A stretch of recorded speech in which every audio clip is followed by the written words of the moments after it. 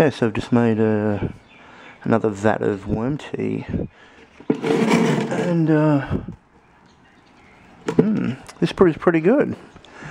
This brew is pretty good. So I've had some questions asked about what do you do with the worms when you're putting in the vermicast into your stocking.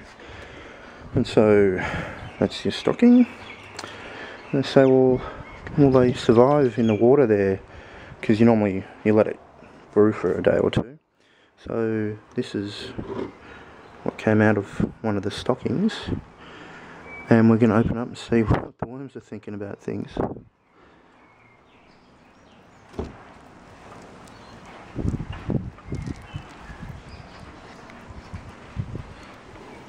Okay, so they're looking pretty good. They've been in there for a day and um, there was some university study. Oh, here we go. Look at that.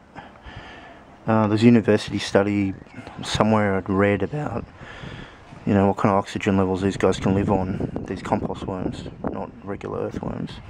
And um, they said, well, as long as there's oxygen in whatever they're in, um, they'll survive. And um, so now, this is the worms that have been in that vermicast sitting in the stocking in the container that was being oxygenated by that pump for 24 hours. And one of them's crawling off my hand. So you can see there isn't much to worry about. There's also there's you also get these little smaller species uh, in the worm farm as well. I don't know actually who what that is. It could be like some recent hatchling.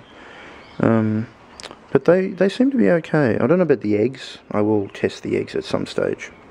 So folks make worm tea. It will not harm the animals filmed in this production.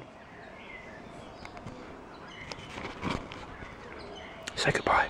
Say goodbye, little worm. Say goodbye. Goodbye. Goodbye.